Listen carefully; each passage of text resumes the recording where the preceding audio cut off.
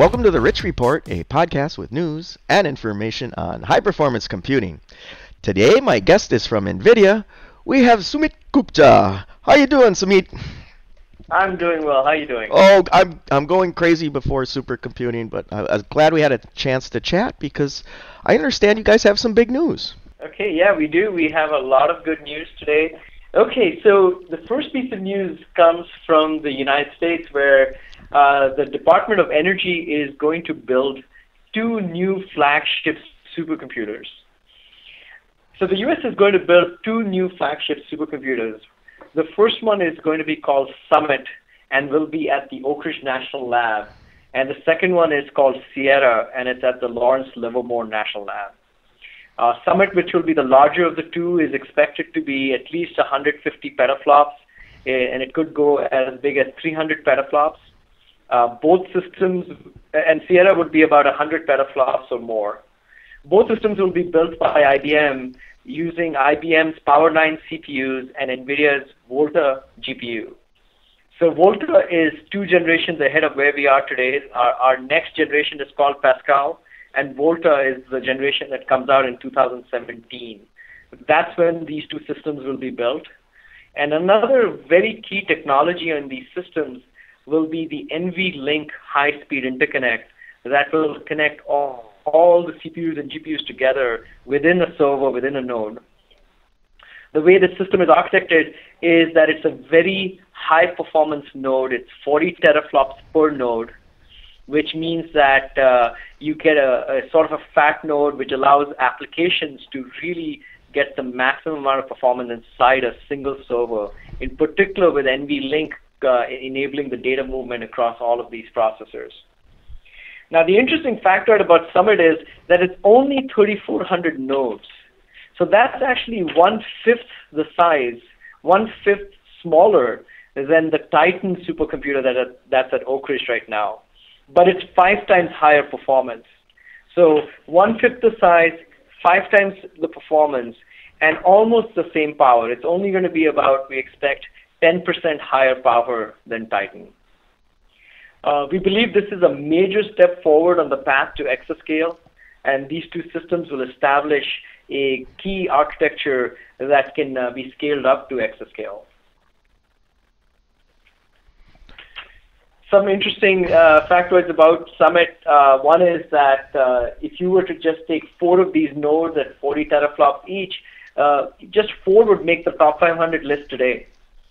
Um, and as I mentioned, the power on this system is is quite modest. It's uh, uh, it's only 10%. We expect to be 10% higher than Titan. And just to put it in perspective for everyone, 150 petaflops is almost equal to 3 million laptops. So if you were to stack them up on top of each other, you would actually reach outside the atmosphere of the Earth. Very cool. All right. Yeah. Keep going, and, uh, man. I, I, also checked that the, the population of the state of Mississippi is 3 million. So if everyone had a laptop there, they would have a 150 petaflop system. Yep. Um, I think uh, it's really important that the DOE and the U.S. government is investing in scientific computing and in these large supercomputers.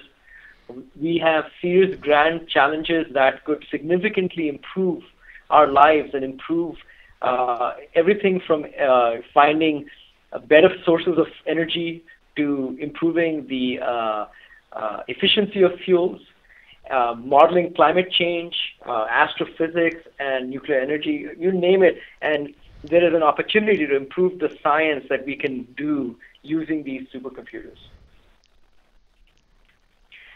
Now, why did they choose a GPU-based architecture? Well, if they had based this architecture, this system, just on CPUs, you would end up with a system that would require almost half the power of Vegas so CPUs clearly cannot, uh, you cannot use CPUs to build out these large-scale systems.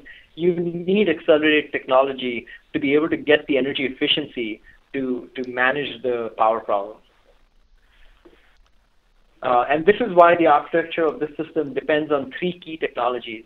A very powerful serial processor, which is the IBM Power CPU, a very powerful parallel processor, which is the NVIDIA Volta GPU, and this high-speed CPU to GPU interconnect that NVIDIA uh, invented called NVLink. So NVLink gives you 5 to 12 times higher performance than PCIe Gen 3 and, and can give you this point-to-point communication between the CPU and GPU, enabling data movement. Volta has two new features uh, or two key critical technologies that are uh, critical to this uh, system. One I mentioned is NVLink. The other is that it uses stacked memory to achieve a much higher bandwidth and higher capacity memory. Uh, stacked memory is also much more energy efficient than standard uh, GDDR5 or uh, DDR type style of memories. Now, NVLink is a new interconnect that we will first introduce in our next generation GPU called Pascal. So today we are shipping, uh, NVIDIA is shipping the Kepler and Maxwell uh, GPUs uh, in our, and for Tesla we ship Kepler. And the way GPUs and CPUs are interconnected today is that all of them hang off a common interface or a common bus called the PCIe. What NVLink enables is that first of all, depending if you have ARM and uh, x86 or other uh, CPUs, you can just have them communicating with the uh, GPUs via PCIe, but the GPUs can be communicating among each other with NVLink. With uh, with IBM, they're building in NVLink into their CPU, into their CPU SoC. So you can connect, we can connect GPUs and CPUs together using NVLink in, in IBM's uh, uh, technology. Now, these systems, as I mentioned, lead the way to exascale. And if you look at it, uh, the accelerated computing architecture that was first deployed in Titan and now in Summit can get us on this path which gets us to exascale uh, in the next few years. So this is a very important step, uh, in particular, both for the architecture and also for the software applications and the programming models that lead the way to exascale. Exascale supercomputing is required to address future scientific challenges. Today, when we build models of uh, climate or even molecular models, we make a lot of uh, simplifications. We, we remove a lot of details because we're not able to simulate the complete model. With exascale class systems, we'll be able to do much more detail-oriented and physically accurate simulations, which can dramatically improve our insight into uh, science and, and, and hasten our discoveries. So in summary, I, I just want to let you know that again, the U.S. is building two flagship supercomputers. Uh, the faster one of them will be at least three times faster than today's number one system. Uh, and uh, these supercomputers are critical to our scientific computing agenda and to uh, the Department of Energy's uh, energy uh, independence agenda. Both IBM and NVIDIA are inventing new technologies that will enable the next generation of exascale computing. So that's it, Rich. Uh, that's what I wanted to share with you today. Yeah, yeah, well, a couple questions come to mind. Uh, Sumit, is this uh, um, is this part of the Coral procurement that, that we've been talking about for the past couple of years with, with, with these labs? That's right. This is the uh, outcome of the Coral uh, uh, procurement. Okay. Uh, so these are two of the systems in the Coral procurement. Okay. Okay. So I was familiar with that.